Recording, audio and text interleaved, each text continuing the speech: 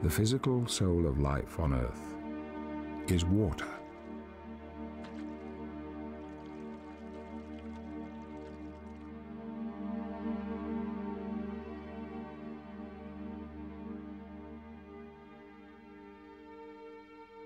But the world is a complicated place, and water interacts with many and varied forces. Weather, climate, politics, people. They all affect each other. And since precipitation means fresh water, precipitation means life.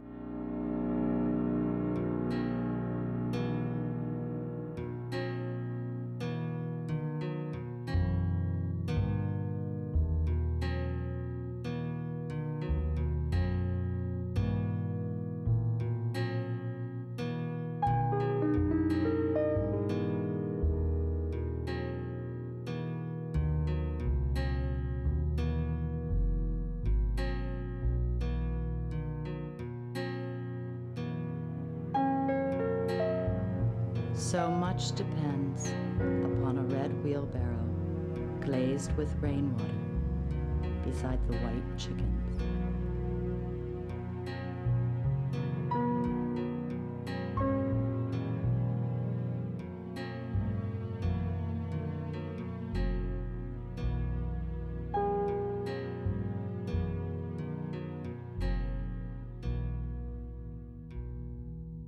So much depends on precipitation.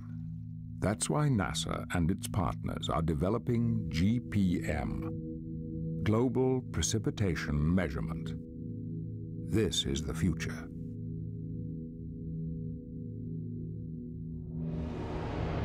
This is the main vehicle, the heart of the system. This satellite will be the refinement of years of remote sensing experience. When launched, it will be the most advanced precipitation measuring observatory ever.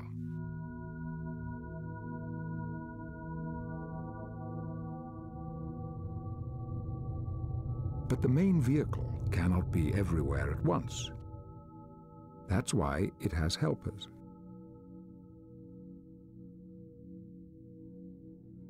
In complementary orbits, a constellation of additional satellites will also collect precipitation data.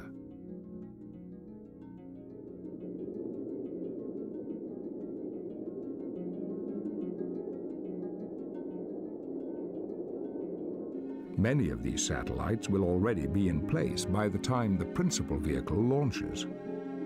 A clever plan to utilize existing satellite systems will enable the project to cover most of the Earth's surface.